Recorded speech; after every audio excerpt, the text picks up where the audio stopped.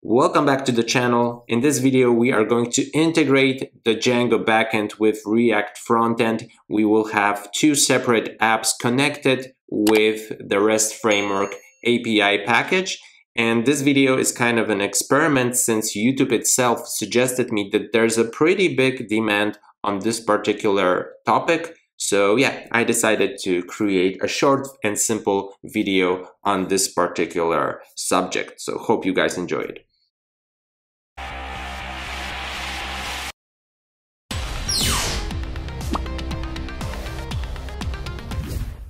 Alright, so I have two terminal windows open. One is going to be for the front end, the other one is going to be for the back end. So I'm currently in both cases at the desktop and let's create over here a shared directory where we are going to place the backend app, the frontend app, as well as the virtual environment for the backend. So I'm going to write a make directory and I'm going to name it FSP. FSP stands for full stack project.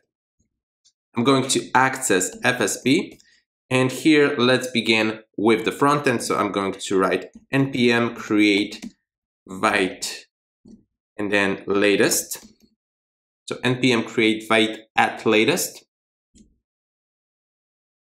I'm going to name this front end. Okay, it's going to be a React application. I'm going to select JavaScript and now let's access front end. Let's run npm install.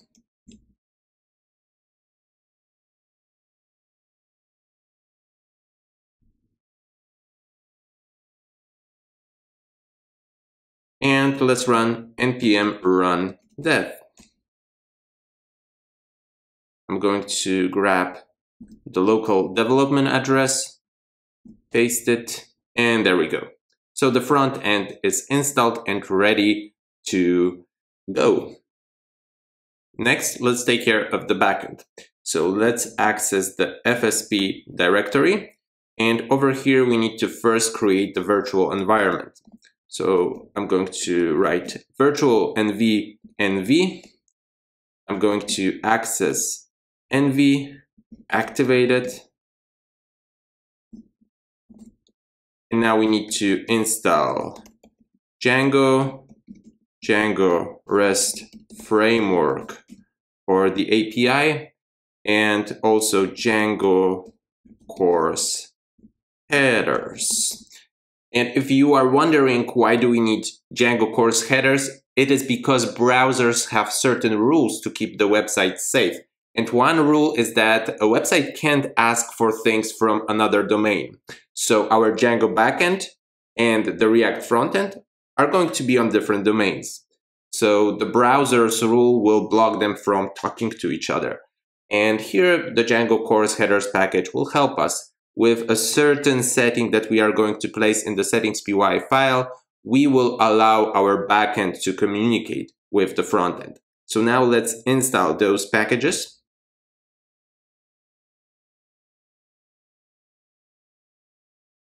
All right. So I'm going to now move back to the FSP directory.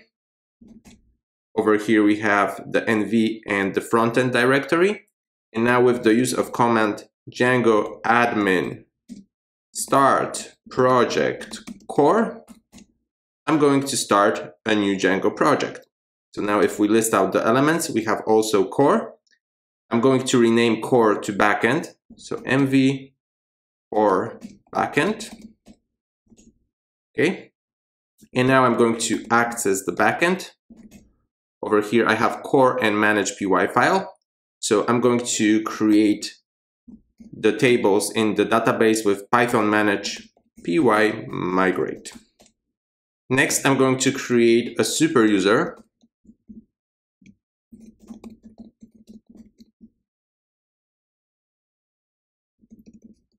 So we can log in to the Django administration. And I'm also going to create an application called posts. All right, so now I'm going to open up Visual Studio Code with the code space dot command. or actually I'm going to close this and then I'm going to move up one directory. Okay, and here I'm going to open it up.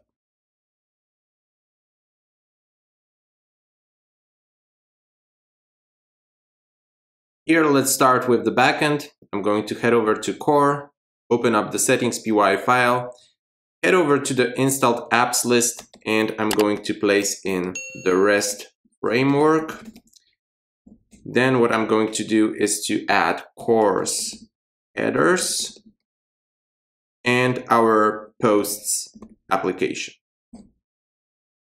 Then as the next step, I'm going to write CORS allowed origins, origins. And here I'm going to place in our React local development uh, address. Okay, so basically we are allowing Django to talk to this particular domain, to, to talk to this particular address. Let's save the settings py file and let's head over to the post application in the models py file, let's create a very simple class, which is going to be named post. It inherits from models.model, and here we will define only two fields. So we will have a title. Let's set the max length to 200. And we will also have a body, and this is going to be a models text field. Let's also add a string representation method and here let's return an f string and I'm going to place over here post and I'm going to inject the title. All right, so let's save this. Let's head over to the admin.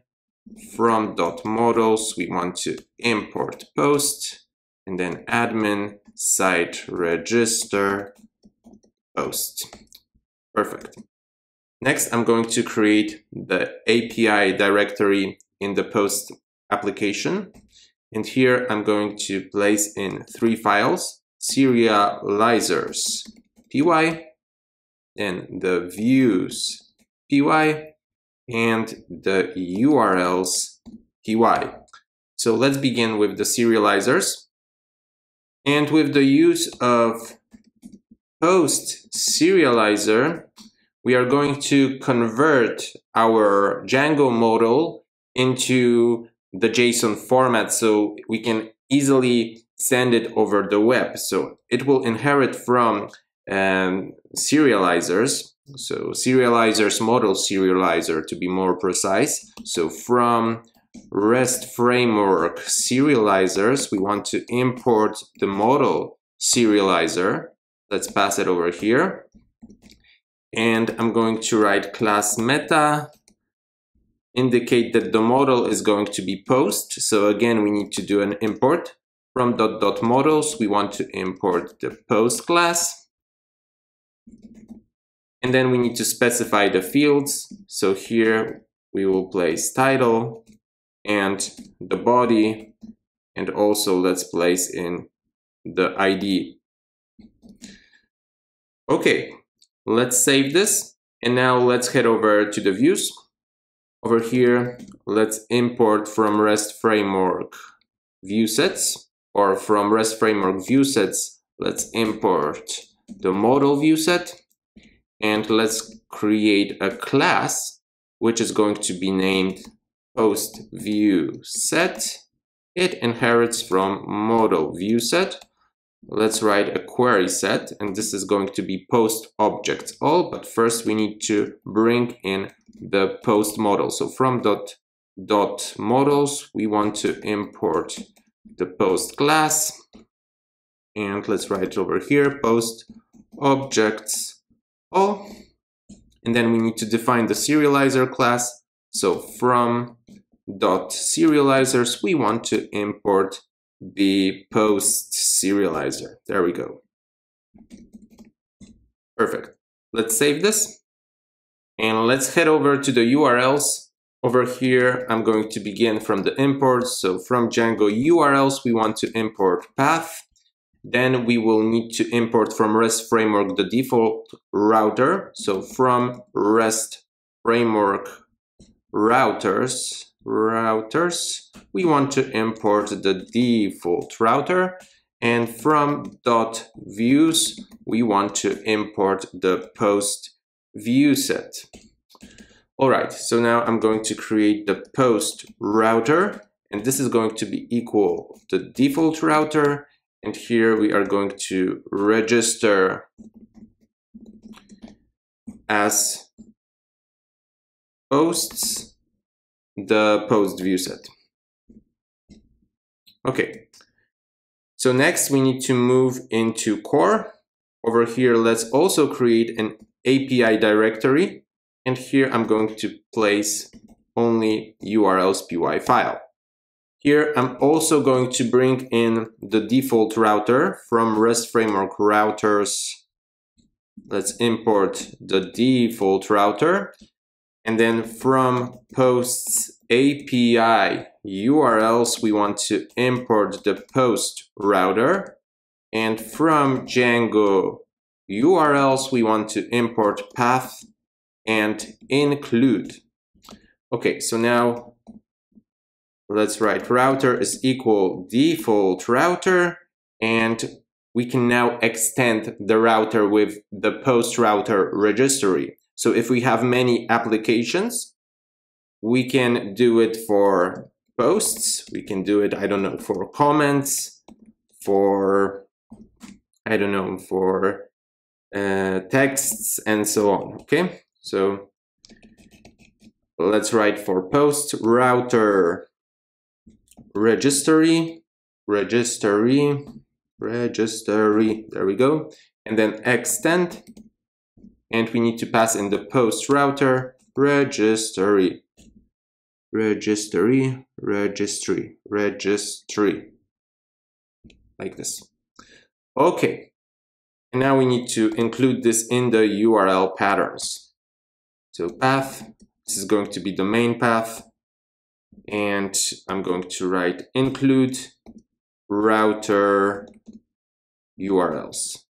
Okay, so to be more precise, this particular path is going to be the main path, but in the posts, we defined that our path to the posts is going to be posts, like this, okay? So we will see how this works in practice. For now, I'm going to save this and yeah, I think we are done with the backend. So let's move to the terminal and run the migrations. Python manage py make migrations. And we have an issue and open file users, no such file or directory. So we are at FSP, so we need to move into the backend. All right, and now let's try this one more time. Python manage py make migrations and origin localhost in CORS allowed should not have path. So let's move to the settings and remove the slash. And let's try this one more time.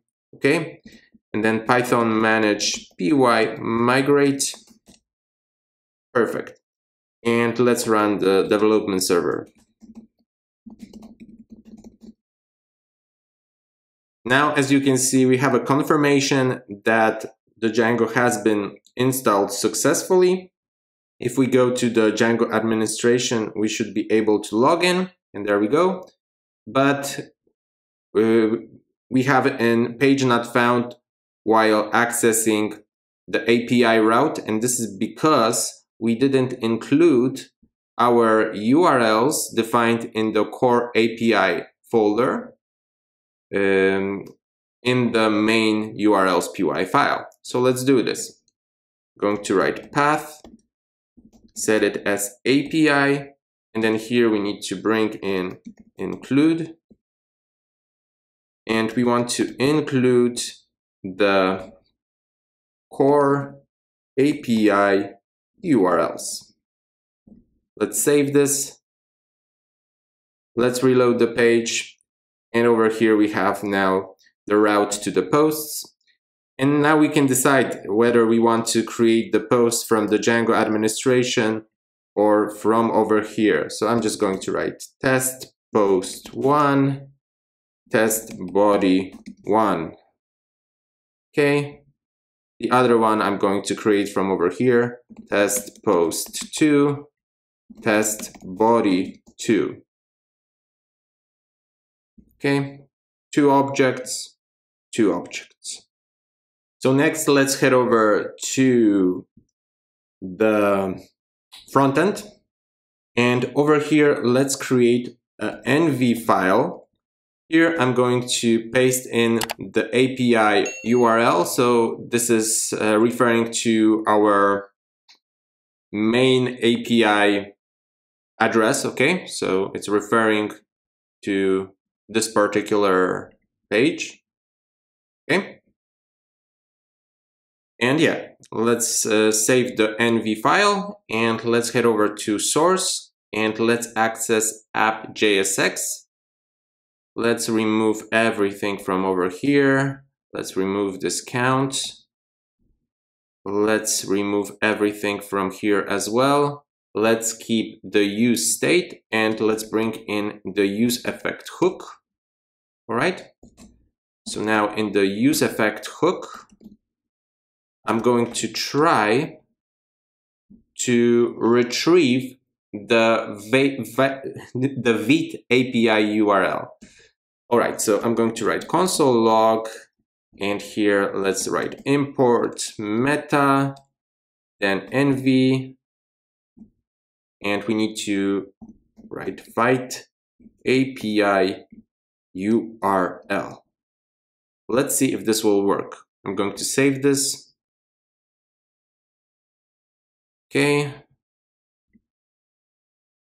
Let's go to the console.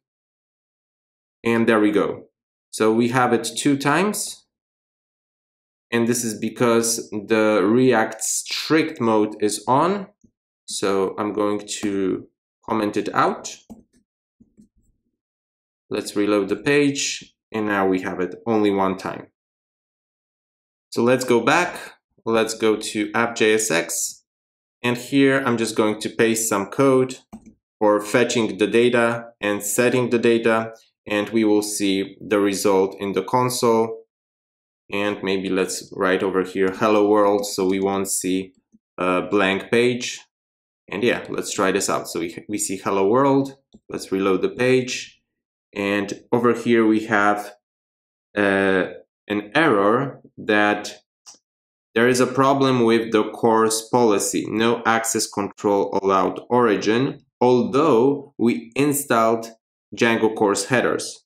And the reason for this is that we actually didn't completely install the CORS headers package. Mainly, we forgot about adding middleware. So somewhere above the common middleware, I'm going to add CORS headers and then middleware and CORS middleware.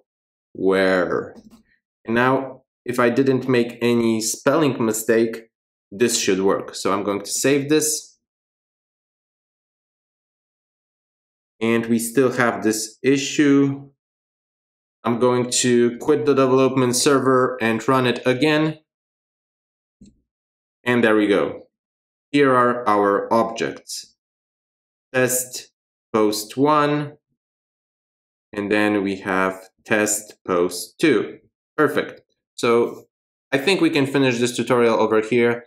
This was an example how to integrate Django with React as two separate apps connected by the REST framework API. If you enjoyed this tutorial, consider subscribing to the channel and I hope to see you guys in the next one.